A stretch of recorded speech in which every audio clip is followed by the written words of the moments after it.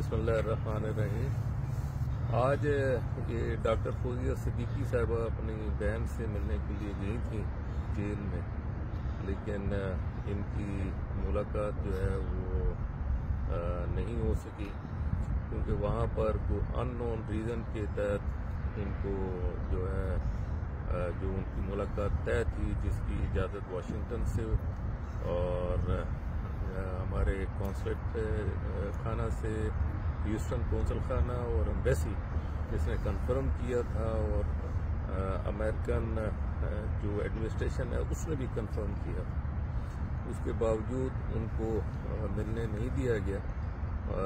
हालाँकि वो अंदर तक गई जेल में, लेकिन उनके सामने जब डॉक्टर आफिया सिद्दीकी आई तो जिस जगह उनकी मीटिंग करवानी थी उस वो जगह जो है वो लॉक थी।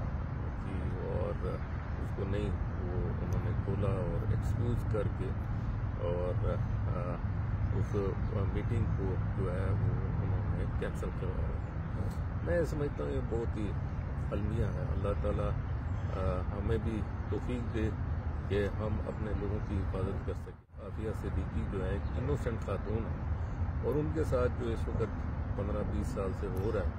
मैं इसकी भरपूर मजम्मत भी करता हूँ और मैं ये समझता हूँ कि ह्यूमन राइट्स के हवाले से, इंसानी हकूक़ के हवाले से, उनकी सगी बड़ी बहन को भी उनके साथ मिलने से जो है वो रोका गया, चाहे जो भी तरीका उसका इख्तियार किया गया मैं उसकी मजम्मत ही कर सकता हूँ।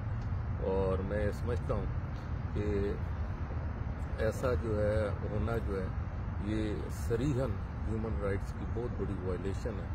और इसके हवाले से मैं समझता हूँ कि हमारे फॉरन ऑफ़िस को, हमारी एम्बेसी को, हमारे कौंसल खाने को इस हवाले से उनसे बात करनी चाहिए, क्योंकि वो बहुत दूर से, सिर्फ़ और सिर्फ़ इस मुलाकात की गर्ज से यहाँ पर आई हैं और वो मुलाकात उनकी नहीं हो सकी।